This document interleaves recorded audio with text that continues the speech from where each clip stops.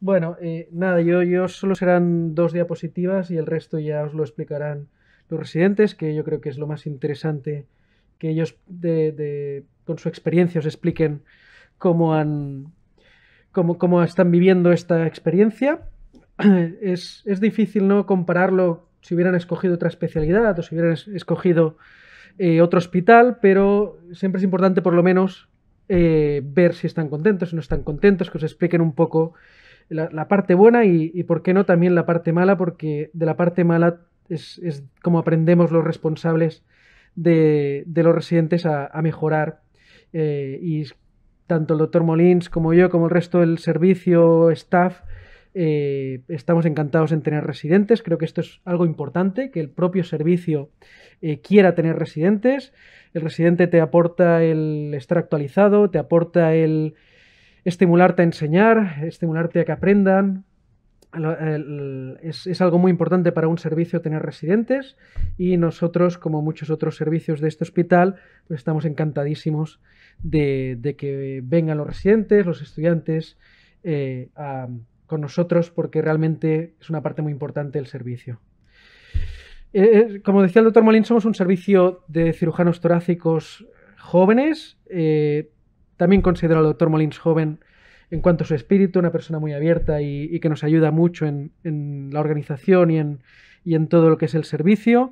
Somos cinco cirujanos, incluyendo al doctor Molins, que aunque seamos un equipo joven, estamos, diría, podría decir que altamente cualificado todos tenemos la tesis doctoral, todos tenemos un campo de interés para desarrollar líneas de investigación y eh, especialmente en el clinic, pero en, muchos otros hospitales y servicios, el tema de la investigación es algo muy importante y que, hay que trabajar en ello. Utilizamos las últimas técnicas quirúrgicas avanzadas y constantemente estamos intentando innovar y adaptar nuevas técnicas. Participamos en sociedades internacionales y somos parte de, estas sociedades. Tenemos una sala propia de cirugía torácica y una eh, enfermería especializada propia. Es decir, somos un, servicio en, el global de la palabra en cuanto a staff, en cuanto a jefe de servicio, en cuanto a organización, en cuanto a enfermería, un quirófano propio. Y esto creo que, nos da un, un, plus respecto a otros, a otros servicios de otros hospitales. Y como ya os explicarán Ahora los, residentes tenemos guardias propias, bueno, tenemos un servicio organizado eh, de una forma que permite al, residente formarse en todos los campos. Eh, aquí ya quizá empezarían ya los, los, eh, residentes, pero la, importancia ¿no? de esta diapositiva, asistencia, docencia, investigación, y como estas tres patas de, la formación de un residente y, de, y también de, de un médico son, son las tres de igual importancia. Es decir, si una de ellas falla, evidentemente esta mesa o esta base de la formación va, a caer y para nosotros es igual de importante la asistencia, la investigación y la, y la docencia. Intentamos estimular las tres, las tres partes para dar la mejor formación posible. Os, dejo ahora pues ya con, Leandro Grando, que es el, nuestro R3, y con Néstor Quiroga, nuestro R2, para que os expliquen un poco su perspectiva de, la especialidad y de, la especialidad aquí en el clinic. Y bueno, ellos, ellos os explicarán un poco cómo ven desde su punto de vista todo. Muy bien, Leo, Néstor. Vale, bueno, hola, buenas tardes, ¿cómo les va? Yo soy Leandro, Néstor, nuestro R2. ¿Qué tal? Un gusto a todos. Mucho gusto. Eh, bueno, explicar un poco esto que estaba diciendo el doctor Sánchez, de que es un servicio joven y altamente calificado y que en verdad tienen muchas ganas de enseñarnos tanto cómo operar como cómo ser buenos médicos y buenos, eh, ser buenos para nuestros pacientes en general. Eh, la cirugía torácica es una residencia en su gran mayoría y por suerte quirúrgica, entonces si lo que les gusta es una, eh, una especialidad más quirúrgica, la cirugía torácica es una muy buena. Eh, como decía, tenemos seis o cinco quirófanos semanales, en los cuales está programado un residente y un adjunto, mm, dependiendo de cómo vayamos eh, mejorando en, la, en nuestra...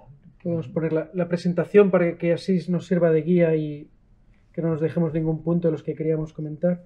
Perdona. Eh, no, tranquilo, tranquilo. Eh, eso de que hay un residente y un eh, adjunto programado, de la misma manera que en la sala para llevar nuestros pacientes hospitalizados, un adjunto y un residente en programación.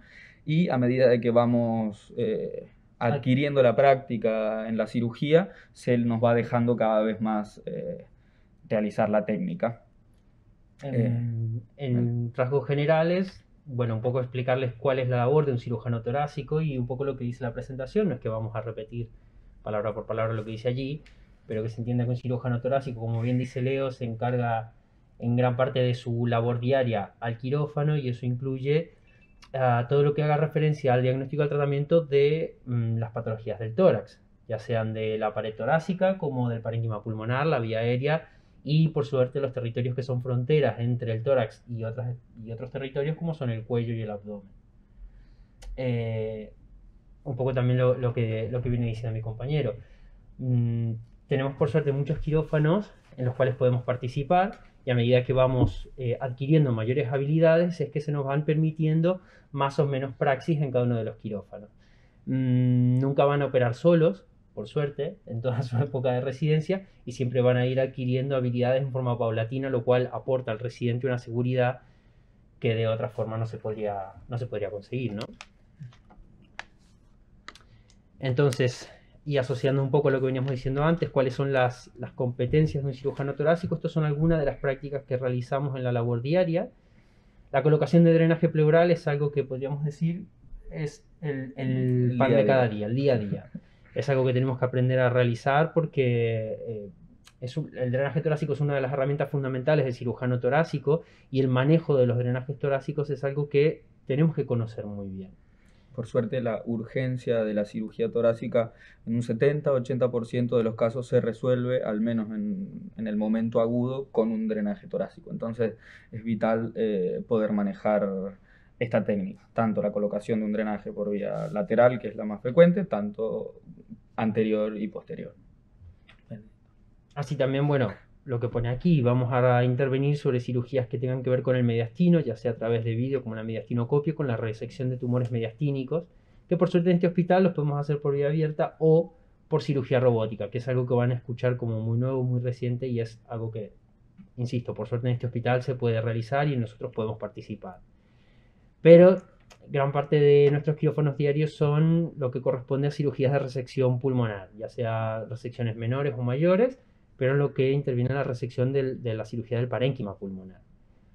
Van a aprender a realizar también pleuroscopias, cuándo se indican, cuándo se realizan, cómo se realizan, cuáles son las técnicas más adecuadas, la cirugía del mesotelioma, que es una cirugía que no se hace en todos los hospitales, la cirugía de la vía aérea, una cirugía que, ya lo podrán decir aquí mis compañeros, es bastante compleja y, interesante de ver. Y las otras cirugías que aparecen aquí, la broncoscopía intervencionista, la BATS, las toracotomías y una vez más la cirugía robótica. Hay algo con lo que creo yo personalmente no hay que dejarse llevar mucho y es que van a, van a escuchar que cirugía robótica en muchos hospitales, eh, el residente interviene mucho y demás. A ver, sí que es verdad que, que se da mayor o menor intervención en diferentes hospitales a la cirugía robótica, pero tienen que saber que es una cirugía que es compleja, que hay que aprender a realizarla y que no por mmm, estar haciendo robot desde R1 vas a, a ser un emérito cirujano, sino que hay que ir como con todo paso a paso. Y que se, se, te va dando, como en todos los casos, se va dando cada vez más participación al ir adquiriendo distintas capacidades. En un principio se formó eh, a los cirujanos adjuntos para, para, realizar la cirugía robótica y estar en el campo de, de la cirugía y ahora ya estamos programados eh, un residente también para ir comprendiendo cómo se maneja el campo de la cirugía robótica, porque eh, la cirugía robótica no se puede hacer solamente con un cirujano que es el que está en la consola, sino también que necesita de ayudantes en el campo quirúrgico. Y aquí también lo que dice la diapositiva es lo que ya venimos diciendo. ¿Cuál es el papel de residente en las cirugías? Bueno, principalmente en los primeros años vas a actuar como ayudante de la cirugía, pero a medida que te vayas formando vas a poder realizar más o menos praxis ya dentro del propio quirófano. En general estamos programados a lo que dice aquí, dos a tres quirófanos eh, a la semana, lo cual es, es un muy buen número. Eh, Poca Y- cosa más que decir de eso. Y eso, de que las cirugías algunas son de menor o de mayor complejidad. Las de menor complejidad son las que se comienzan a, a dejar hacer más prontamente y eh, así avanzando a lo largo del tiempo. Eh. Entonces, esta es la actividad quirúrgica que existe en nuestro servicio, 5 o 6 quirófanos a la semana, casi 500 cirugías al año, yo diría que tal vez un poquito más. Los comités multidisciplinares cada día que se hacen no solo en este hospital, sino que los hacemos también con los hospitales de, la red del Clinic. Las sesiones bibliográficas y científicas que, bueno, sirven tanto para actualizarse al, al residente como para también ir perdiendo el miedo a lo que es la presentación, esto, la presentación en vivo, el poder hablar en público y mm, poder desarrollar esas habilidades que a la larga también en la formación como médico te sirven para poder desarrollarte con los pacientes, aprender a hablar, aprender a comunicarte con ellos, ya que entiendan lo que uno quiere hacer con ellos, lo que uno intenta aportarles. Eh, las sesiones bibliográficas y científicas también nos sirven, sirven a los adjuntos y al resto del servicio para estar en el día a día de qué es lo que se está diciendo hoy por hoy de la ciencia y mm, creo que como, como herramienta de actualización es, es una de las cosas más útiles. Y esto ahí que es uno de los pocos servicios estatales con certificación de la, de la Sociedad Europea de Cirugía Torácica. Muy importante también. Vale. Estas son por ahí mm, eh, lo que nosotros consideramos que son las dudas más frecuentes que, que suelen tener los residentes cuando preguntan por el servicio. Y es si se hacen guardias, la respuesta es sí. De R1 se hacen guardias con cirugía general, en promedio son 4 o 5 al mes, hay meses que pueden ser menos, pero en general nunca pasan de 5 guardias al mes. De R2 a R5 se hacen guardias ya propias de cirugía torácica con un adjunto localizable, también en un promedio entre 4 y 5 al mes. ¿Se libran las guardias? La respuesta es sí. Se libran todas las guardias. ¿Cuál es la actividad de las guardias? El- una cosa, un apéndice, que el adjunto localizable está para venir al hospital si es necesario, pero también está al teléfono por cualquier tipo de dudas que uno tenga eh, en la labor diaria. A toda hora. Exactamente. Bueno, cu- ¿cuál es la actividad nuestra en las guardias? Tenemos que decir que por suerte somos un servicio que tiene guardias dentro de todo tranquilas. El volumen de pacientes no es el volumen de pacientes que pueden tener otros servicios de cirugía, porque no somos un servicio que esté eh, a la puerta de urgencias. Pero sí que estamos a cargo de los pacientes ingresados en la sala de cirugía torácica, tanto en los posoperados como en los que puedan ingresar desde urgencia. Y de Tam- to- todas las interconsultas que puedan realizar los otros servicios del hospital para la realización de alguna Mm.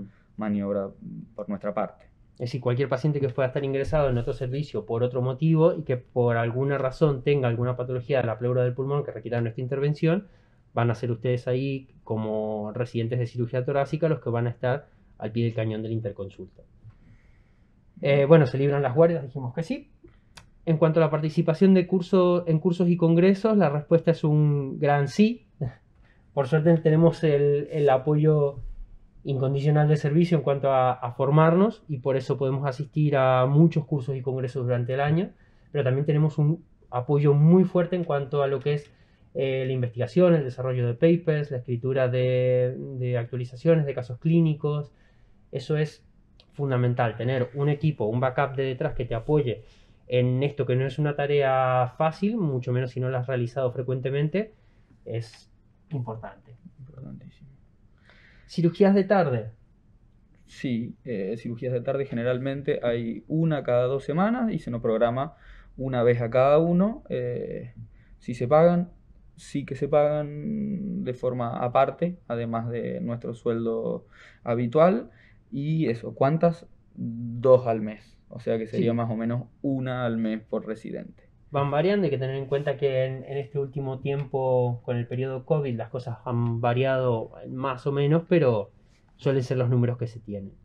En cuanto a las rotaciones, de R1 y de R2 rotarás por los diferentes servicios del hospital, sobre todo en áreas que son transversales al servicio.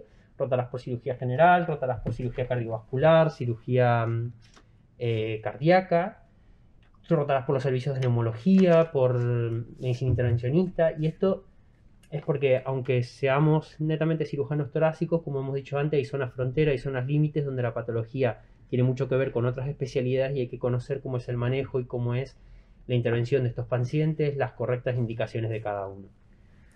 Esas son las rotaciones dentro del hospital, además de las rotaciones externas que están disponibles a partir de, del tercer año, tercer, cuarto y quinto año, que se hacen dos, de una duración aproximada de tres meses cada una y que de la misma manera que los cursos y los congresos se nos invita a realizarlas en el lugar donde nosotros tengamos ganas o donde nos guste.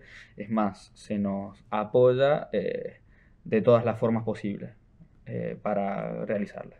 De hecho, Como decíamos, no- nuestro R4 está en, en en Francia. En Niza, realizando su ro- rotación externa, que es la que él eligió. Y yo, si todo sale bien, en, en septiembre y octubre iré a rotar a, a Estados Unidos, que era el lugar donde yo tenía ganas de ir. Así que... Bueno, y también encontrás una formación más adecuada según lo que estás intentando buscar como, como parte de la formación, buscando aquello que te gusta y donde puedes realizarte mejor. por supuesto.